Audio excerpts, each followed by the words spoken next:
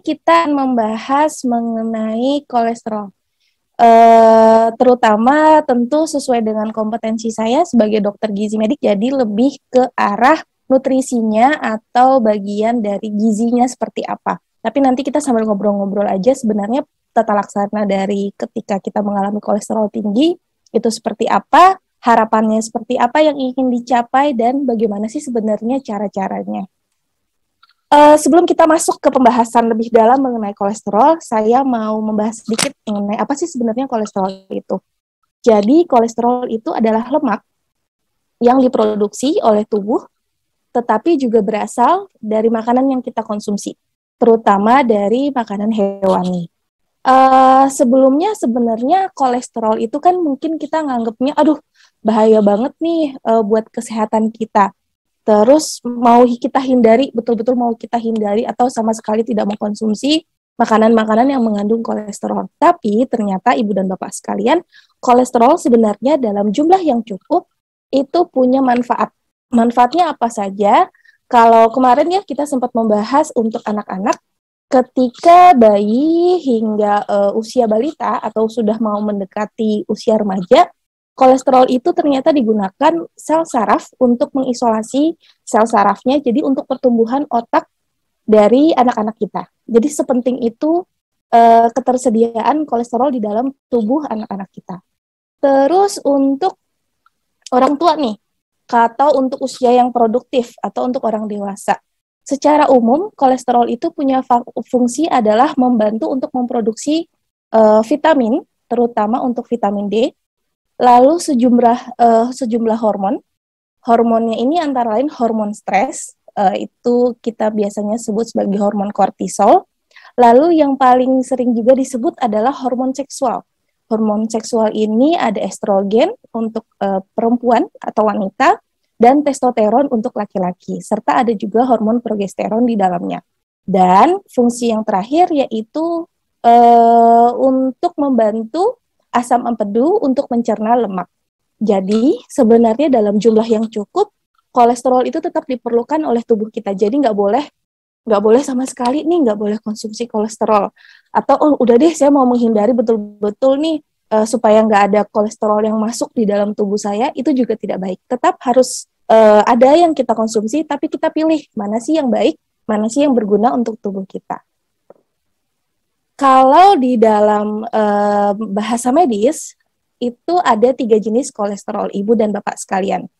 Uh, di dalam darah kolesterol itu dibawa oleh darah ya, lalu berikatan dengan protein. Jadi dia ada ikatannya nih bareng jalannya nggak sendirian, jalannya bareng-bareng sama protein disebut sebagai lipoprotein.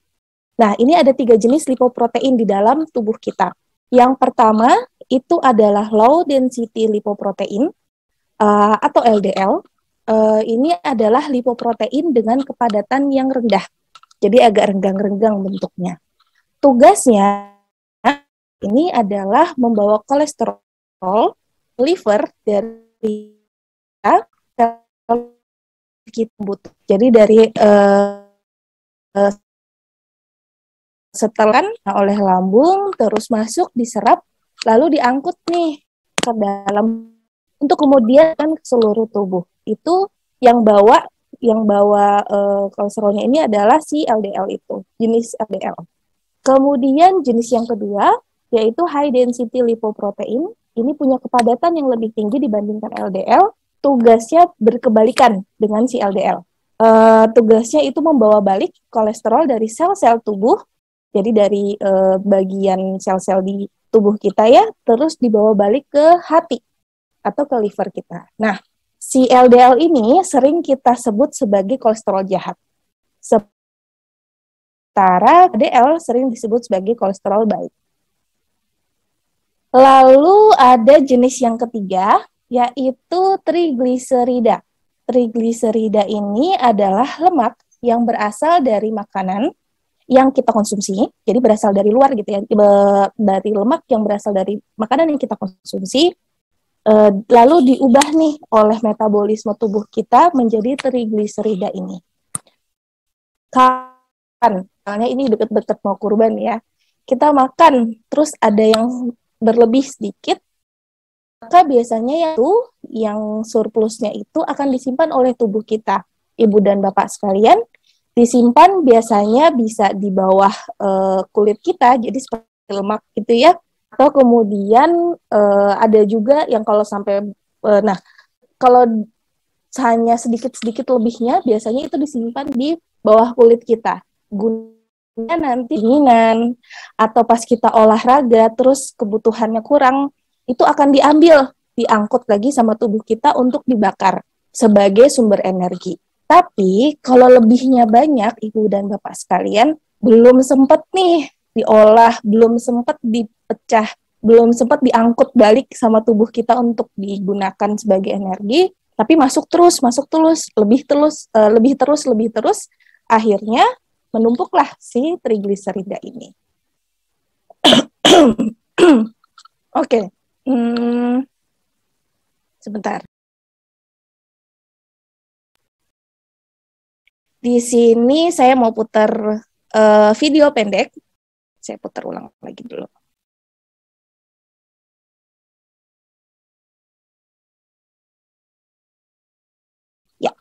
Kita lihat ini yang bentuknya lempeng-lempeng ini.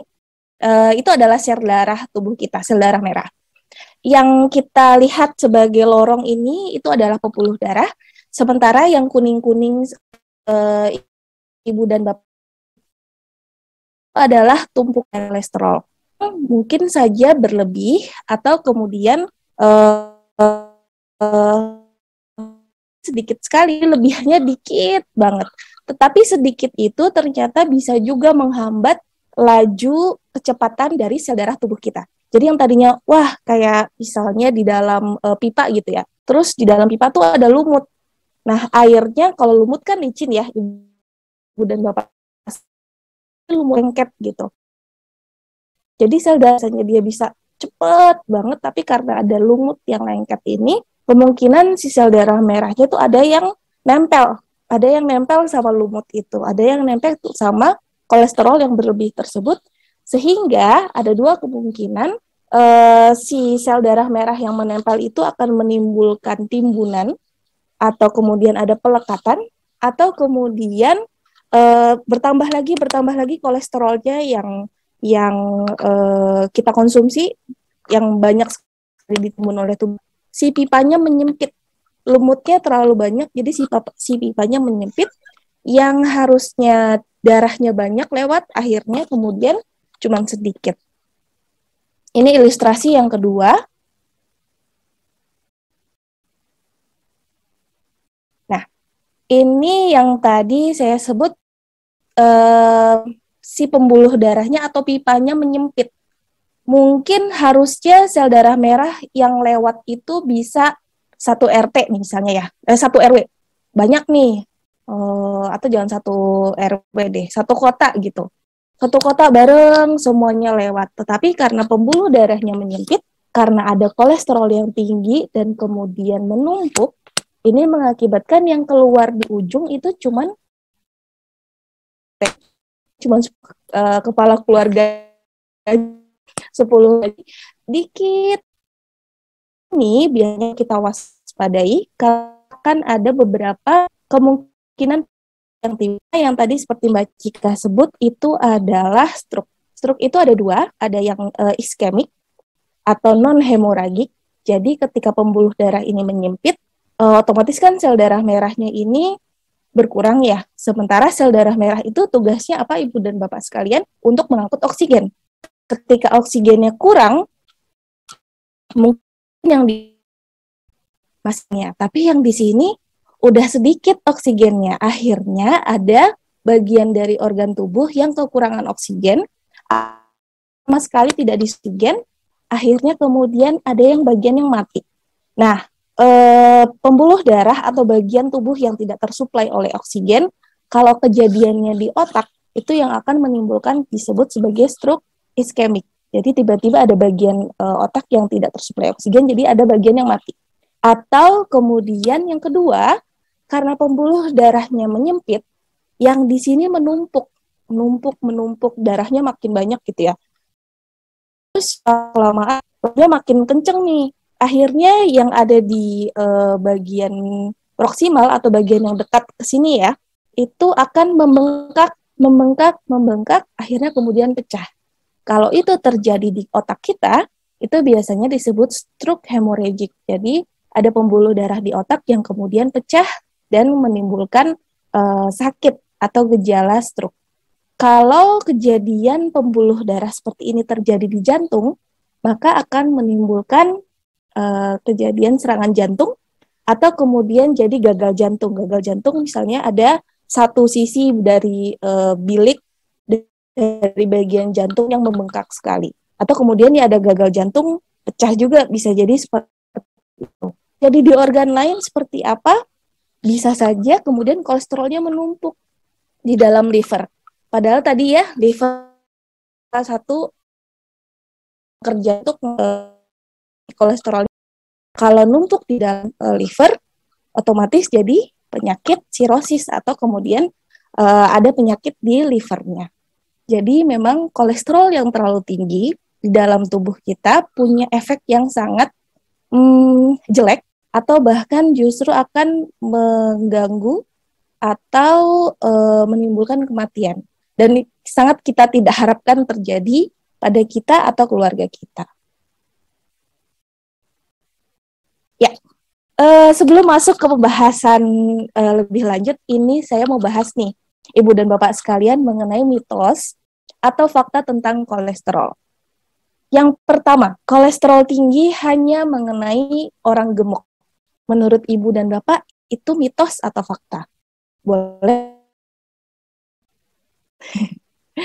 Boleh diketik di chat sambil diketik ya, Ibu dan Bapak sekalian.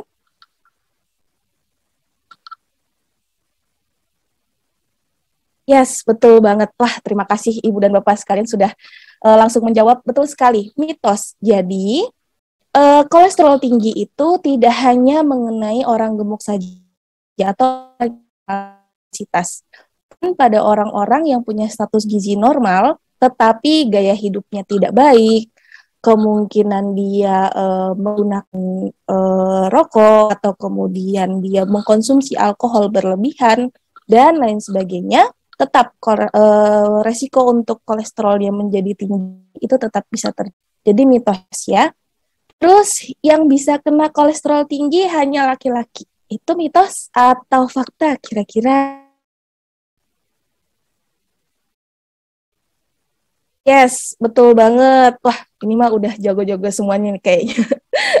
betul, betul banget. Jadi, uh, kolesterol tinggi itu tidak hanya terjadi pada laki-laki saja terbaik kata justru ya ketika di pergeseran pas orang-orang yang uh, karena kolesterol yang tinggi itu di atas usia 45 tahun. Tetapi sekarang bisa ditemukan kasus pasien-pasien yang datang dengan kolesterol yang tinggi itu di usia 20 tahun. Jadi baru mentas dari remaja mau masuk ke uh, dewasa muda ternyata kolesterolnya udah tinggi. Dan itu juga e, banyak terjadi pada yang gendernya perempuan. Jadi mitos kalau kolesterol tinggi ini hanya terjadi pada laki-laki. Nah, ini berhubungan dengan mitos yang berikutnya. Kolesterol yang tinggi yang terus-menerus terjadi akan menurunkan libido. Mitos atau fakta?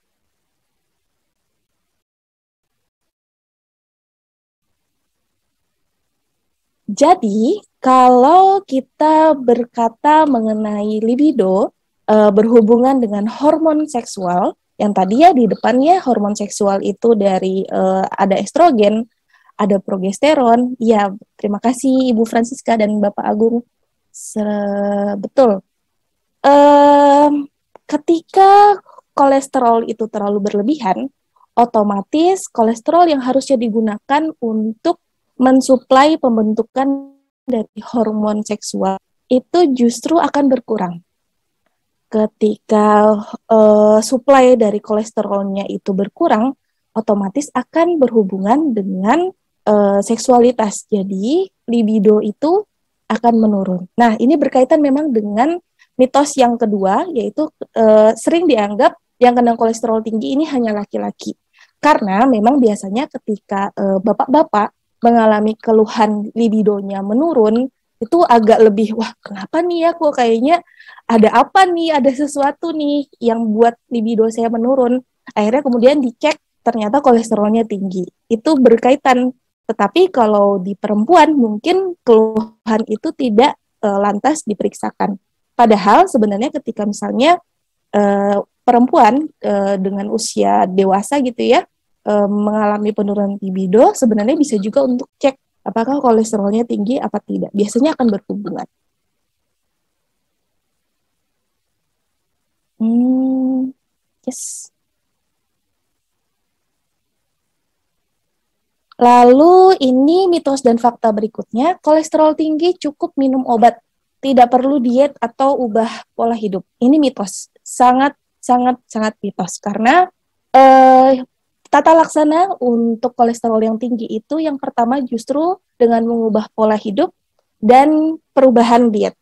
Ketika perubahan diet atau pola makan serta mengubah pola hidup sudah dilakukan, tetapi tidak ada progres yang baik, baru kemudian diberikan obat. Jadi nggak kebalik nih, dulu baru ubah uh, diet atau obat dulu diubah makannya.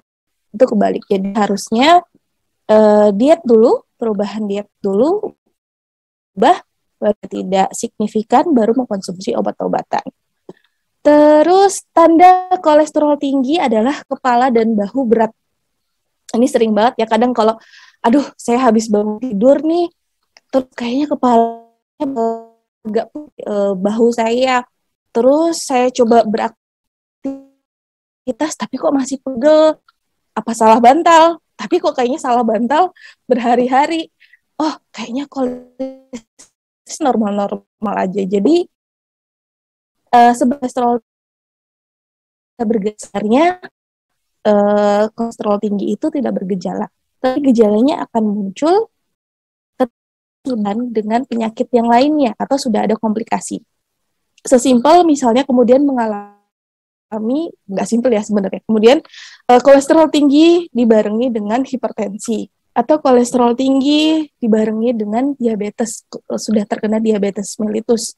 Kolesterol tinggi kemudian dialami mungkin ada gangguan pada ginjalnya. Nah, itu biasanya baru atau ada keluhan-keluhan pada pasien. Nah, yang terakhir, rokok dan alkohol akan meningkatkan jumlah kolesterol total. Kalau rokok ini sebenarnya sudah banyak sekali riset yang membuktikan bahwa e, nikotin dan tar di dalam rokok memang yang e, meningkatkan jumlah kolesterol yang signifikan dan meningkatkan banyak sekali penyakit. Tetapi untuk alkohol ini masih banyak sekali studi yang dilakukan ya Ibu dan Bapak sekalian. Ada yang mengatakan ketika mengkonsumsi jenis bir, jadi alkohol itu kan uh, saya juga kurang paham sih karena tidak mengkonsumsi.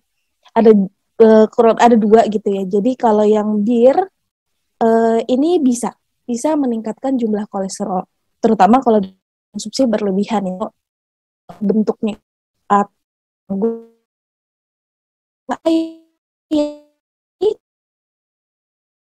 yang jadi akan meningkatkan si kolesterol baik. Tapi itu uh, kita tidak bisa tidak bisa ambil oh berarti minum wine aja nih atau minum anggur aja enggak. Tetap kalau misalnya ketika sudah ada atau kolesterolnya udah tinggi, tetap harus di, uh, diubah pola hidupnya enggak lantas kemudian oh ganti deh yang tadi sebelumnya konsumsi bir terus jadi ganti jadi konsumsi uh, wine yang enggak di uh, kalau bisa dihindari. Oke. Okay.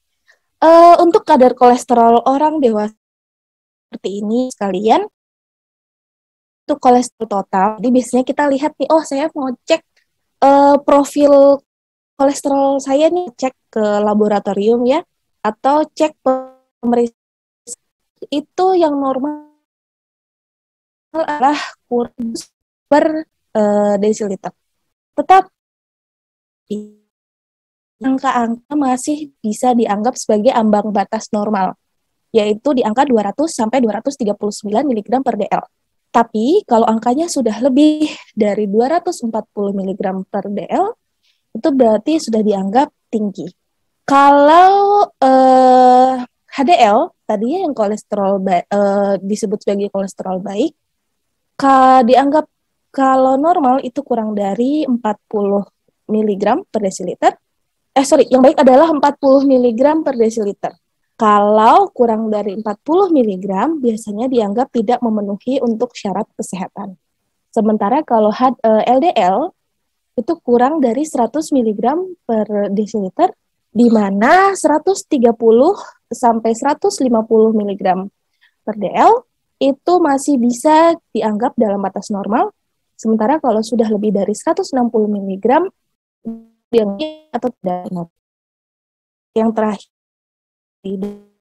dari 149 mg per di mana 150 sampai 199 mg per DL ini masih bisa saja dianggap dalam batas normal. Sementara kalau sudah di atas um, 200 mg per dl ini sudah tinggi. Kenapa sih masih ada ambang uh, ambang yang disebut sebagai ambang batas ini yang bisa saja disebut sebagai batas normal karena memang ada kondisi-kondisi di mana uh, bisa terlalu meningkat. Tapi bukan menggambarkan diagnosa bahwa ini uh, oh ya kolesterol tinggi itu secara kita anggap aja namanya dislipidemi. Jadi akan disebut sebagai dislipidemi. Nah, eh, pada kondisi misalnya pada kehamilan, pada ibu hamil itu bisa saja kolesterolnya tinggi. Dari kolesterol trigliseridnya. Kemudian misalnya yang harusnya puasa, ada ya pertimbangan ketika misalnya puasa dulu 12 sampai 14 jam. Lalu ternyata eh, enggak nih, puasa deh saya langsung masuk dalam range yang dalam normal itu atau dalam ambang batas um, itu biasanya harus diulang lagi modifikasi dulu modifikasi gaya hidup gitu ya. Terus diulang lagi untuk memastikan masuk dalam uh, kolesterol. Nah dislipidemi ini kurang lebih ditandai dengan berat secara uh, total secara keseluruhan kolesterol tinggi atau dislipidemi ini ditandai dengan uh, kolesterol totalnya lebih dari 200 mg, nya itu bisa atau kolesterol HDL-nya kurang miligram dan trigliseridnya lebih dari 200 mg per desiliter. Penyebab kolesterol tinggi atau dislipidemi itu sendiri, ibu dan bapak sebenarnya bisa dibagi menjadi dua. Yang pertama ada sleepy primer. Ini adalah karena memang ada gen kita nih ibu bapak sekalian. Jadi genetik yang uh, kita mengkonsumsi makanan terus harus orang normal gitu ya. Uh, ya udah makanan itu akan dipakai untuk kebutuhan energi tubuh kita. Terus misalnya konsumsinya berlebihan banget, oke okay, akan disimpan kita. Kalau dikonsumsinya berlebihan terus-menerus, barulah kolesterol lipidnya bisa saja. Oh, mungkin koknya terlalu banyak.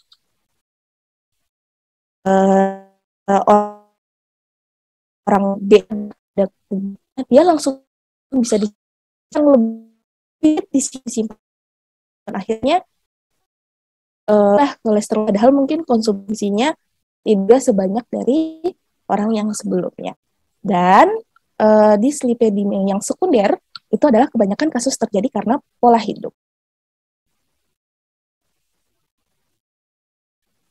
Saya sebut kenapa sekarang kasusnya cukup tinggi terjadi di usia dewasa muda, baru selesai tinggi ini pola pertama bekerja. Bekerja terlalu berlebihan. Terlalu berlebihan sampai nggak kenal waktu. Makanya kenapa kasus cukup banyak sekarang? Karena ada ya ibu dan bapak sekalian anak kan uh, jenis pekerja. Ada atau plastik uh, dan lain sebagainya me, me, ya bukan tetapi ada perubahan dalam uh, bekerja yang menjadi merubah pola hidup secara umum, mengubah pola tidur secara uh, umum. Jadi ke anak-anak muda ini uh, kondisi kolesterolnya akan uh, berubah, lalu kemudian akan menjadi tinggi dibandingkan orang-orang yang uh, zaman dulu usia yang kedua makanan bawah ya konsumsi makanan yang terlalu banyak digoreng terlalu banyak makanan instan terlalu banyak makanan-makanan saji cepat saji itu enak. Enak dikonsumsi. Juga kita pesen di komer ya gampang banget sekarang bisa pesan online makanan tetapi mak berini ternyata efek pada kolesterol yang tinggi. Terus uh, gaya hidup yang ketiga adalah kurangnya gerak aktivitas aktivitas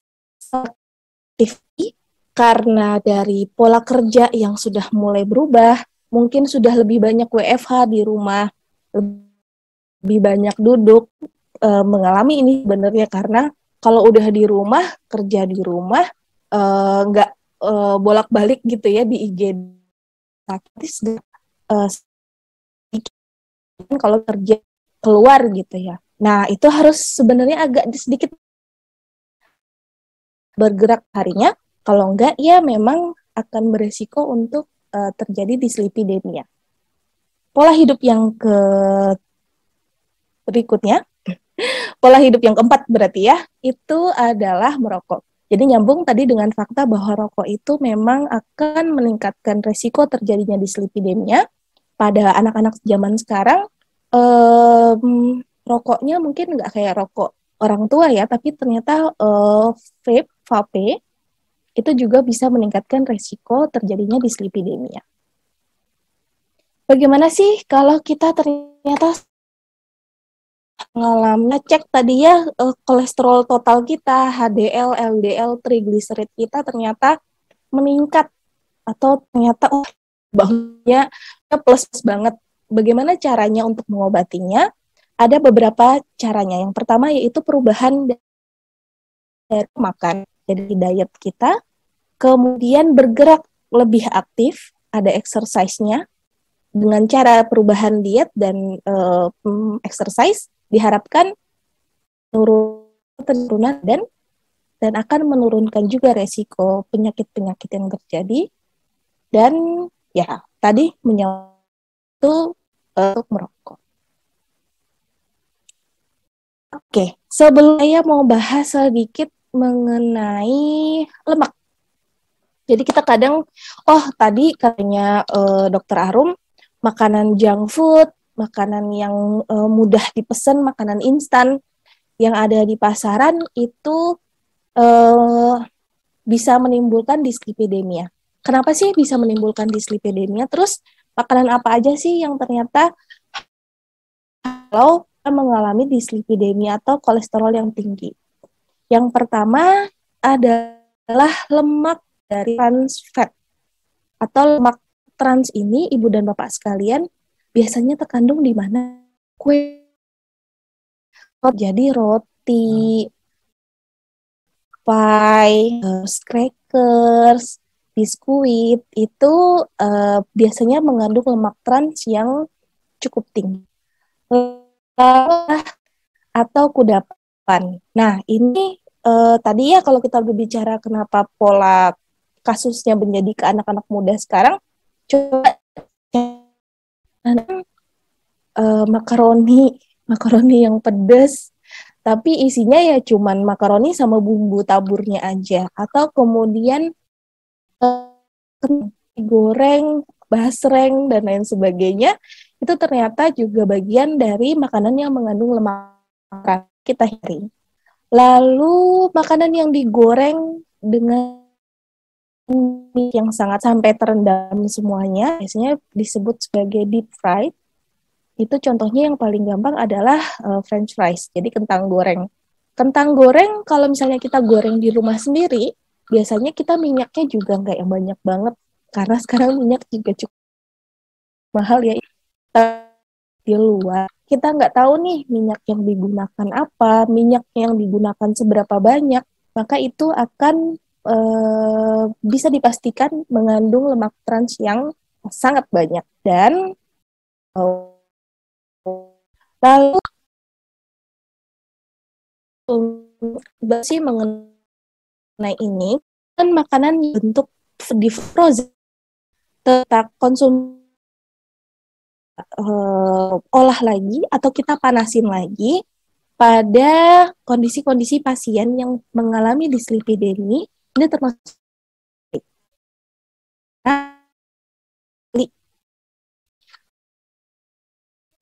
ini atau frozen uh, salah satu cara untuk mempertahankan bentuk mempertahankan supaya dia tetap enak ya dikonsumsi pada saat di rumah kita itu dengan cara di salah satunya ya dengan cara digoreng atau kemudian ditambahin uh, lemaknya ditambahin lemaknya lebih banyak supaya lebih lama untuk disimpan. Makanan-makanan yang di, disimpan di dalam atau dibentuk sebagai frozen food itu salah satu makanan yang harus dihindari ketika kolesterol kita tinggi atau ya kita mau mencegah supaya kolesterol kita tidak tinggi ya ini harus nih. Terus penggunaan margarin itu juga berpengaruh uh, untuk meningkatkan lemak trans. Nah ini terus uh, kita sebenarnya bisa pilih lemak yang baik itu seperti apa sih? Yang pertama kita bisa lihat dari fat polyunsaturated sama monounsaturated. Namanya agak panjang ya, atau kita singkat sebagai PUFA MUFA. PUFA ini sudah peneliti itu contohnya dari uh, minyak uh, jagung atau minyak biji bunga matahari. Sementara kalau mufa itu contohnya dari uh, minyak zaitun, terus peanut oil, sesame oil, terus alpukat dan kacang-kacangan. Ini adalah jenis lemak yang bisa kita konsumsi dengan bijak punya efek yang untuk tubuh kita. Sementara yang satunya yaitu saturated fat, itu contohnya dari uh, tumbuhan yang paling banyak itu dari coconut oil, minyak kelapa, ada minyak kayu yang ada di uh, rumah-rumah kita. Itu sebenarnya kalau kita gunakan dengan baik, secukupnya itu masih oke. Um, kalau misalnya santan, santan itu juga masuk di dalam vegetable fat.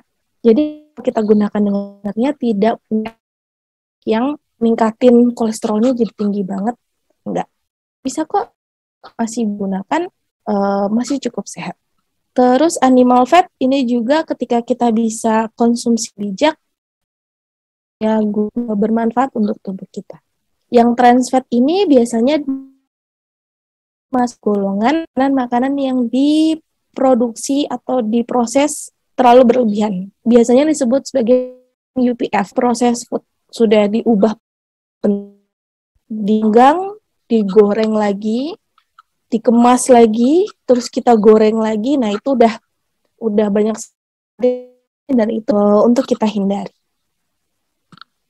Uh, ini untuk jenis dislipidemia yang primer. Ini ya, kalau contoh-contohnya apa sih yang dihindari? makanan seperti ini, apa sih yang perlu dikonsumsi? Makanan seperti ini. Terapi untuk krisis epidemia itu prinsipnya adalah artinya kurang lebih 7 sampai persen dari dua mengurangi asupan kolesterol 300 mg per hari. Terus mengganti makanan sumber kolesterol dengan makanan alternatif. Mengkonsumsi yang padat gizinya, jadi secara gizi uh, vitamin mineralnya oke, tapi dia bisa punya efek melindungi jantung kita. Terus menghindari yang tinggi kalori yang diproses terlalu banyak, mengkonsumsi suplemen yang dapat menurunkan kadar lipid. Jadi memang suplementasi itu kalau untuk nggak bisa uh, maksudnya oh nggak mau deh nggak mau konsumsi suplemen kalau di dalam terapi nutrisi medis itu memang bagian dari uh, terapi karena punya punya efek yang bagus ketika antara diet sama konsumsi suplemen uh, dibandingkan misalnya hanya diet saja. Terus tentu mengurangi berat badan dan meningkatkan aktivitas fisik. Prinsip diet buat dislipidemia adalah tadi ya mengandung mengkonsumsi makanan yang rendah lemak, Ouch. Apakah layar saya hilang? Uh, iya blank sih putih. Coba okay. sebentar. Kok dia hilang? Uh, sebentar. Mungkin kepencet kali, dok. Iya kayaknya. Hmm. sering sinyal mungkin. Hmm. Ya, ya, Yusana Family sambil nanti menunggu Dokter Arum ya setelah isi Q&A ya. Jadi Bapak Ibu semua boleh bertanya seputar dengan tema kita malam hari ini. Hmm. Jadi disiapkan pertanyaannya di chat ke saya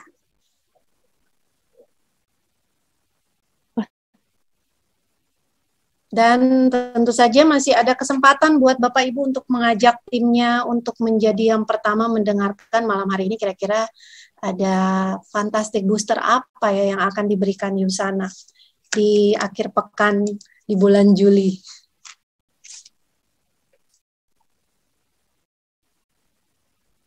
Oke, saya buka yang baru dulu deh. Kalau ya. Gitu. Maaf ya, Ibu dan Bapak sekalian. Wah, dokter lagi seru-serunya. Iya, lagi seru deh. makanan yang enak semua ya. Betul. Makanan yang enak semua tuh, Dok, ya. Uh, harus di makanan-makanan cepat saji. Makanan-makanan berlemak ya, kadang-kadang hindari, Dok. Betul, betul banget. Emang uh, uh, teorinya mudah tapi kalau dilaksanakan mungkin agak PR ya Ibu dan hmm. saya coba share screen lagi.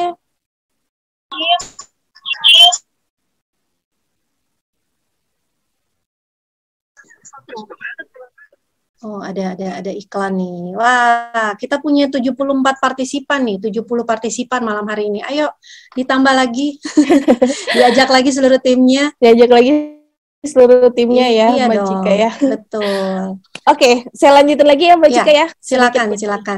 Dokter Arum. Jadi uh, prinsip diet atau prinsip makan untuk dislipidemia ini sebenarnya kalau dibaca simple Ibu dan Bapak sekalian, kalau dibaca.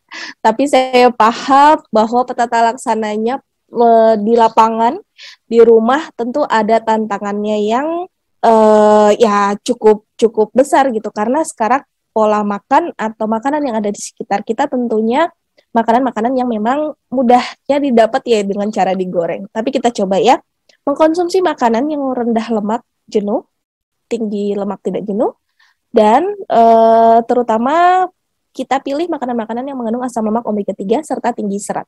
Lalu membatasi konsumsi makanan yang mengandung tinggi kolesterol, yaitu tidak lebih dari 300 ya, tadi yang 250 atau 300. Sumber makanan yang mengandung kolesterol tinggi adalah yang paling banyak sebenarnya ibu bapak sekalian jeruan besok nih Idul Adha ya kalau mau konsumsi daging sebenarnya kalau masih dagingnya aja itu masih aman sebenarnya untuk jeroan ya. Mm, tapi jeroannya uh, nanti nanti aja deh di skip dulu aja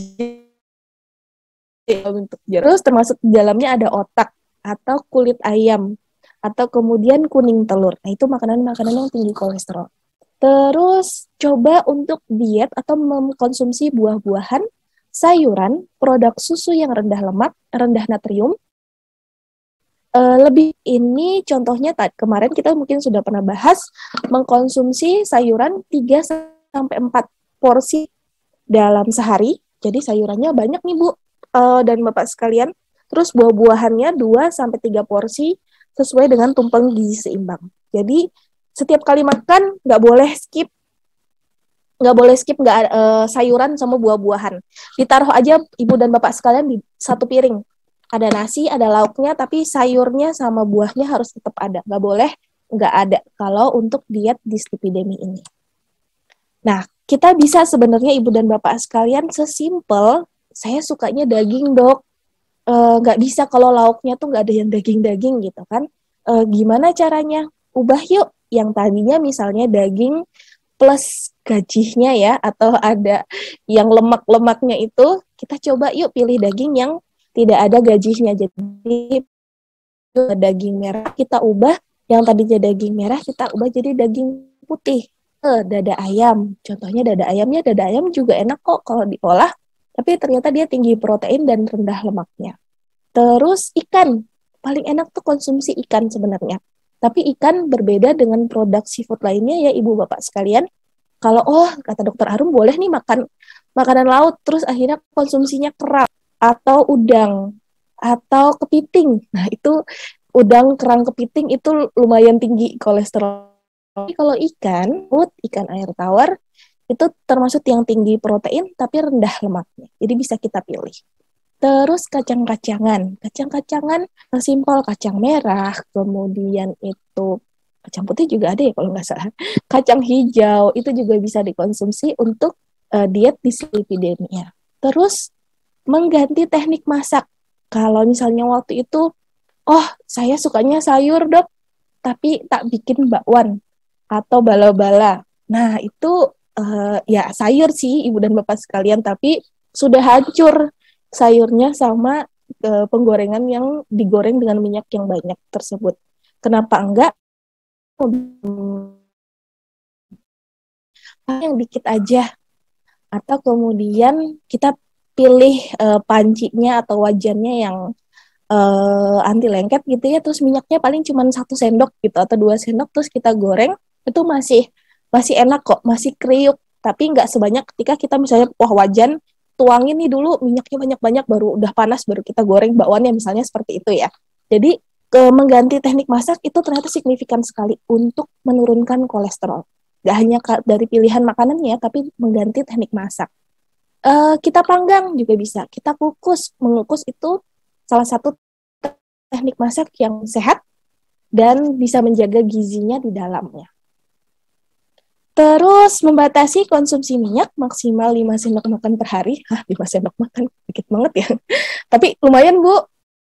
Bapak sekalian ya kalau minyaknya uh, cuma 5 sendok makan dalam satu hari. Terus konsumsi garam maksimal 1 sendok teh per hari Terus uh, makan makanan atau minum minuman yang mengandung banyak gula itu kalau gulanya dari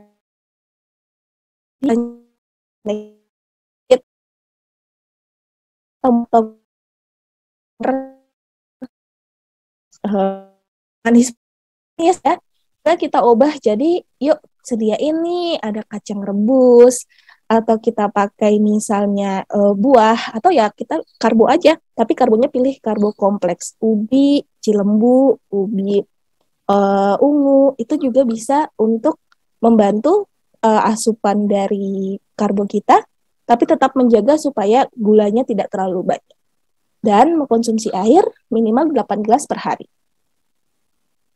Nah, ini mengenai makanan yang tinggi pada uh, kondisi dislipidemia atau kolesterol tinggi itu sangat bermanfaat. Ketika kita konsumen yang uh, seratnya tinggi, itu akan membantu apa ya bahasanya ya, meluruhkan. Kalau kalau bahasa bahasa awamnya adalah membantu untuk meluruhkan si kolesterol kolesterol kolesterol yang berlebihan itu. Kayak diikutin nih, diikutin untuk dibuang atau kemudian diluruhkan, dipecah karena dari makanan tinggi serat tersebut. Contohnya, kalau serat itu sebenarnya ada dua macam. Serat yang tidak larut air dan serat yang larut air. Serat yang larut air itu bisa menimbulkan efek kenyang ke tubuh kita, tapi eh, ya dia tinggi, tinggi, tinggi seratnya, jadi buat guna untuk tubuh kita juga bagus. Contohnya oatmeal atau apel atau jeruk atau chia seed, flaxseed atau kemudian uh, timun atau wortel. Sementara yang tidak lahir seperti ini, beras coklat, zucchini, brokoli, kacang uh, apa namanya? sayur kacang panjang dan sayuran yang berdaun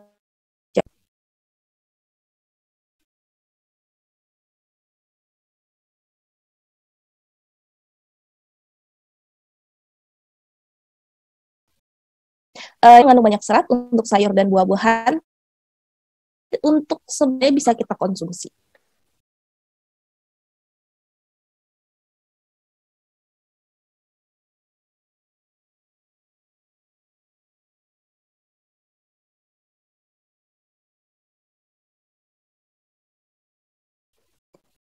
Nah, sedikit uh, ini mengenai kolesterol yang tinggi, ini ternyata berhubungan dengan kekurangan vitamin dan mineral tubuh kita. Uh, contohnya ini ya, banyak sekali vitamin dan mineral yang um, dengan kondisinya, tapi yang berpengaruh itu adalah vitamin D, kemudian ya asam lemak omega 3, kemudian dari seratnya itu sendiri. Vitamin C juga bisa, vitamin B3 juga bisa.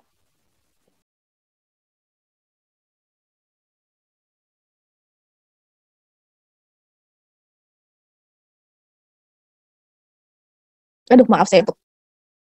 Jadinya. Apa, dok? Sama minum dulu, oke.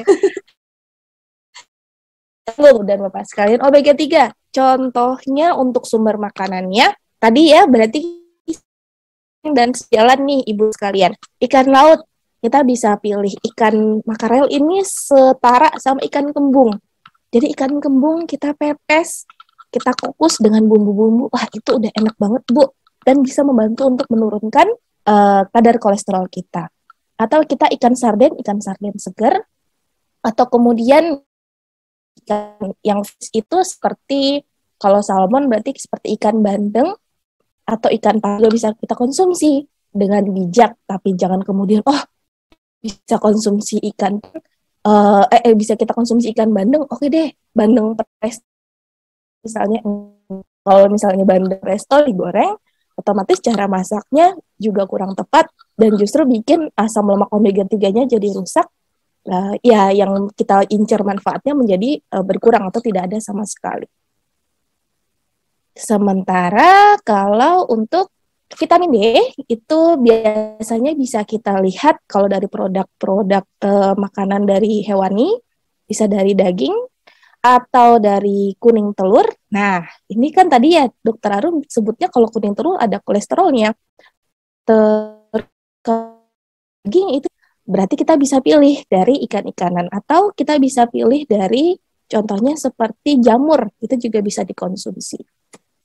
Sementara kalau untuk vitamin B4 contohnya seperti ini ya, eh, yang paling mudah adalah kita konsumsi labu. Jadi labu bijinya labu itu ibu dan bapak sekalian ternyata punya uh, kandungan vitamin B4 yang berguna untuk tubuh kita. Jadi jangan dibuang, bisa dikukus lagi atau diolah dengan makanan yang lainnya. Terus magnesium tadi uh, salah satu yang mungkin bisa berkurang lalu berefek pada kondisi dislipidemia. Ini bisa kita peroleh dari mana sih kalau magnesium? Balik ada kacang-kacangan, oatmeal. Kalau kita misalnya panggang um, ubi kalau kita udah bersihin sebenarnya nggak perlu dibuang kulit ya. Kandungan dari kulitnya itu juga punya vitamin dan mineral yang bagus untuk tubuh kita. Atau kalau kita punya kesempatan untuk memilih uh, ubi yang organik itu juga uh, biasanya kan nggak terlalu banyak disemprot gitu ya. Jadi itu bisa kita konsumsi sama kulitnya dan punya efek yang protektif juga untuk mengurangi dislipidemia. Uh, ya, sedikit ini yang terakhir yaitu aktivitas fisik. Kalau udah makannya oke okay nih, saya atur makannya. Dibanyakin buah-buahan, dibanyakin uh, sayuran, terus ganti tadi ya daging merah sama ikan, sama uh, dada ayam atau kemudian kacang-kacangan, terus ngurangnya goreng, tambah dengan aktivitas fisik minimal 30 menit sehari di uh, dalam uh, ini berarti intensitas sedang itu berarti kalau ibu jalan, ibu dan bapak jalan tuh jalannya agak cepat 30 menit. Jadi jalannya nggak yang jalan santai kayak kita mau um, biasa ya kalau jalan santai kayak lagi jalan-jalan ke mall gitu ya. Tapi ini bayangin jalan intensitas sedang itu kayak uh, jalan kalau dulu pas zaman SD ada ya jalan cepet gitu yang sampai uh, pinggulnya rada-rada bergoyang gitu ibu dan bapak. Nah itu termasuk aktivitas fisik dengan intensitas sedang. Ini uh, kalau kita lakukan 4 sampai enam kali dalam seminggu, katakanlah setiap hari ya, setiap hari kita bergerak 30 menit, bisa turun berat badan, bisa turun si kolesterolnya itu signifikan banget. Percaya deh. Jadi sesimpel ketika kita cuman jalan cepat gitu ya. Mungkin kalau ibu dan bapak sekalian sambil dengerin musik atau sambil jalan jalan sama pasangan gitu berdua sambil cerita, sambil ngobrol itu uh, bisa banget menurunkan kolesterol. Kalau dari uh, aktivitas fisik dengan intensitas sedang kita juga bisa penguatan otot seperti mini uh, plank jadi seperti push up atau plank sebentar gitu ya dilakukan minimal dua kali dalam seminggu itu juga bisa memang ada risk di atas 35 tahun uh, untuk perempuan dan kalau misalnya di atas 45 tahun untuk laki-laki harus perhatikan dulu status gizinya dalam kondisi apa. Kalau misalnya masuk obesitas, terus plank gitu bisa jadi justru tangannya uh, luka gitu ya, nggak sehat. Jadi harus diperhatikan. Lebih mudah uh, dengan aktivitas fisik yang intensitas sedang itu. Oke, terima kasih Mbak Cika, Ibu dan Bapak sekalian. Saya Thank you, Dokter Arum. Wow. Bapak Ibu pasti uh, bermanfaat sekali ya tema kita malam hari ini dan saya ingin highlight memang yang paling gampang mungkin ya dokter di saat ini untuk kita uh, lebih waspada dengan kolesterol tinggi ya memang merubah pola makan ya pola makan menjadi pola makan yang lebih sehat dan kalau kita lihat tadi Bapak Ibu semua dari ada satu slide yang tadi di-share oleh Dokter Arum bahwa beberapa kandungan yang bisa mencegah untuk peningkatan kolesterol ya, Dokter Arum ya. Kalau yang saya catat, saya catat. Uh, koenzim, kemudian ada ya, ada zinc juga, ada magnesium, kemudian ada vitamin D, vitamin C, dan juga tentu saja vitamin B kompleks. Dan kalau kita lihat makanan ya, tadi yang sudah di-share oleh Dokter Arum, most kita uh, khususnya masyarakat Indonesia itu semuanya digoreng. Bahkan kalau saya saya pernah lihat ya kol pernah jadi kalau yang di apa biasanya minta sayurnya lebih digoreng lagi gitu ya jadi aduh itu udah pasti kurang sehat dan pasti memicu kolesterol tinggi ya jadi kita mulai dari pola makan dulu berarti ya dok ya. Pola makan kemudian bu ya. Tadi kita dengar ini. Hanya mungkin seminggu enggak sekali sih. Kali hari ya ternyata ya dok ya. Harus setiap hari jadi bisa menurunkan kolesterol secara signifikan. Dan tentu saja kolesterol kita normal maka uh, beberapa penyakit seperti stroke atau jantung itu bisa terhindari ya seperti Betul sekali ya dok ya. Oke. Nah, kalau kita lihat dari makanan-makanan yang tadi Dokter Arum share, Bapak Ibu semua, tentu saja kacang yang dimaksud oleh Dokter Arum kacang bukan kacang goreng atau kacang polong ya, apalagi kacang atom, atau bumbu kacang gitu ya, pecel gitu. atau bumbu kacang ya, jadi bukan bukan itu, tapi kacang rebus ya, kacang rebus. Dan biasanya dan biasanya kita cara pengolahan memang yang agak kurang praktis yang cepat aja mau yang singkat aja gitu ya contohnya makan makanan fast food makan makanan cepat saji ya itu memicu juga ya dok Betul. jadi uh -uh, jadi ah, lapar nih males bikin kita nggak mau repot rebus-rebus atau makan dada ayam tadi yang udah disaranin oleh dokter Arum eh kita pesan makanan fast food lah 14045 atau 14041 ya seperti itu jadi ya ya begitulah dan Bapak Ibu semua, uh, kalau kita lihat tadi banyak sekali makanan-makanan yang harus kita olah dengan pengolahan yang benar. Nah, tentu saja kandungan mikronutrisi yang terdapat dalam makanan tersebut tidak memenuhi kecukupan gizi untuk mencegah kolesterol tersebut. Jadi suplementasi di sini sangat penting ya Dokter Arum ya. Betul, betul. Tadi kita udah lihat ya kira kira-kira apa saja yang dibutuhkan ya ada magnesium ya dan itu ada dalam produk Yusana. Kemudian ada juga zinc itu ada di dalam produk Visionex. Kemudian ada magnesium C dan juga vitamin B kompleks tentu saja di sel sensial. Jadi pastikan Anda selalu uh, konsumsi vitamin atau konsumsi suplemen Anda dengan dosis yang tepat untuk mencegah salah satunya adalah mencegah untuk uh, kolesterol yang tinggi ya, Dokter Arum ya. Oh, Karena pasti makanan yang kita makan mikronutrisinya udah udah udah nggak seimbang Bapak Ibu semua ya.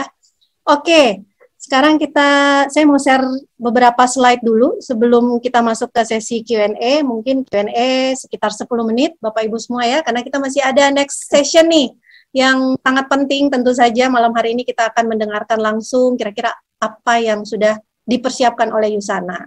Oke. Ya, ini tadi. Nah, berolahraga secara teratur. Pak, ini penting nih. Ternyata berolahraga minimal 30 menit sehari dengan jalan kaki. Nggak perlu repot-repot. Nggak perlu ke gym, nggak perlu repot-repot. Yang penting jalan kaki aja ya dokter ya.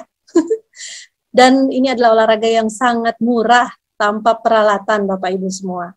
Oke, saya mau update beberapa uh, beberapa event penting. Yang pertama ada mungkin sudah ada yang bertanya, kita cek dulu. Oke, ini ada pertanyaan nih Dokter Arum nih. Ini pertanyaannya bagus banget. Yes, Majika. Ini yang nyalain video kayaknya kita berdua doang. Boleh kali yang nanti saya sebutin namanya yang bertanya, boleh mungkin uh, kameranya di on dulu ya. mungkin masih lagi pada sambil istirahat ya. Ah, ya mungkin. Coba kita cek dulu. Oke. Okay. Nah, ada Ibu Dan Lestari. Hai Ibu. Sudah Hai, siap Ibu. untuk untuk mengikuti sampai selesai? Oke, kita lihat. Uh, ini ada pertanyaan nih. Selamat malam, dokter. Hai Bu Agung, selamat malam. Ini saya bacakan uh, salah satu pertanyaan dari Ibu Agung yang ada di Bali. Tadi tadi dokter bilang kuning telur itu kolesterolnya tinggi. Saya pernah baca kalau kuning telur dimasak tidak terlalu matang dan sebagainya aman dari kelebihan kolesterol. Apakah benar? Yes, silakan dok. Betul.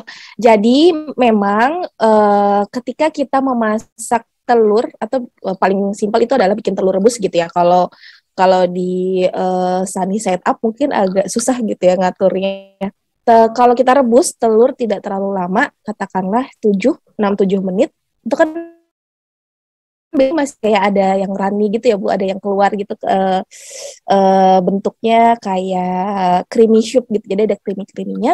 Itu salah satunya adalah memang menjaga asam lemak hmm. omega 3 tiganya. Jadi uh, terus uh, efek dari probiotiknya kalau nggak salah juga akan lebih bagus ke, ke, dibandingkan kalau kita rebus telurnya sampai padat gitu. Jadi uh, sampai matang semuanya.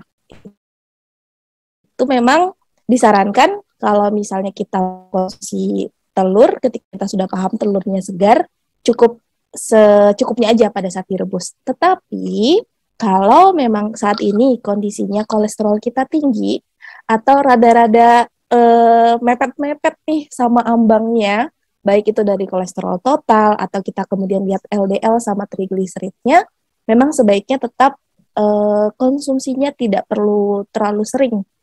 Katakanlah kalau dalam sebulan atau seminggu deh, seminggu kita coba konsumsi satu aja. Satu kali dalam seminggu gitu ya misalnya. Terus, oh saya mau pakai campurannya nih untuk masakan, bisa kita gunakan putih telurnya aja ibu. Karena putih telurnya biasanya kandungan proteinnya lebih tinggi tapi lemaknya lebih rendah. Jadi itu akan selalu balik ke kondisi kita saat ini. Kalau kondisi kita tidak ada kolesterol tinggi, kita sudah check up nih, HDL-nya kita bagus, LDL-nya rendah, trigliseridnya rendah, maka e, mengkonsumsi telur dengan cara direbus yang sebentar itu aja, itu betul e, e, nilai gizinya akan lebih baik dibandingkan kalau kita goreng gitu ya di dadar hmm. atau dipakai minyak banyak sampai kering banget gitu. Nah, itu memang lebih bagus direbus dengan cara seperti itu. Semoga membantu Ibu. Semoga jawabannya. membantu ya Bu Agung. Ini ada lagi pertanyaan nih Dokter Arum. Baik, da dada ayam rendah kolesterol, tapi ada yang nyebut bahwa daging ayam asam uratnya tinggi. Gimana dok? Nah, Oke, okay. uh, eh, dada ayam itu sebenarnya adalah salah satu pengganti atau ketika kita misalnya, oh saya mau mengkonsumsi daging-dagingan nggak bisa nih saya kalau nggak nggak konsumsi daging uh, dibandingkan dengan daging merah yang diolah atau dimasak, maka kita bisa menggunakan daging putih. Daging putih itu ikan sama si dada ayam. Nah, tapi kalau kita berbicara mengenai tinggi purin, uh, biasanya kalau asam urat itu pan, uh, lebih ke purinnya ya. Makanan yang tinggi purin itu yang paling banyak tinggi purinnya tetap dari jeruan. Termasuk hmm. di dalamnya kalau kulit. Nah, kalau dada ayam, ibu dan bapak sekalian masaknya barengan sama kulitnya, nggak enak nih kalau nggak nggak pakai kulit gitu, nggak ada kriuk-kriuknya. Nah itu akan tetap sama, tetap asam uratnya memang akan lebih tinggi dan bisa jadi kolesterolnya akan tetap ada uh, atau justru tinggi. Tetapi ketika kita mengkonsumsi dada ayamnya tanpa kulit, terus kita olah dengan baik ya, dada ayam itu kan uh, dagingnya tuh sebenarnya mudah banget untuk diolah. Ya? Kayak kita marinasi, hmm. mm -mm, kayak kita marinasi dengan bumbu kering aja sebentar, terus kita mm -mm, di green atau di grill atau di pan fry hmm. sebentar, itu udah mateng gitu. Jadi itu akan lebih sehat dibandingkan kalau kita konsumsi uh, daging merah. Tapi sebenarnya gini, nggak ada sesuatu yang kita anggap sebagai oh balik lagi ya superfood nih. Oke deh, saya konsumsi dada ayam terus nih tiap hari enggak. Pasti uh, dengan pakai prinsip gizi seimbang itu akan baiknya harus kita uh, gonta-ganti terus setiap hari. Kalau dari sisi protektifnya itu memang lebih bagus kalau kita bisa konsumsi ikan. Dari daging putihnya ikan, itu ya? Nah. dari ikan, tapi ikannya ya tidak digoreng juga. Kalau ya, digoreng asam lemak ya. omega 3-nya hilang. Jadi hmm. bisa dipepes atau dibikin kuah gitu ya, ikan kuah kuning di lempah gitu itu lebih bagus. Lebih enak ya, ada kunyit-kunyitnya, ada rempah-rempahnya. Kalau kalau biasa saya temuin tuh ikan udah digoreng, di saus ya, disambelin. tiga kali pemakan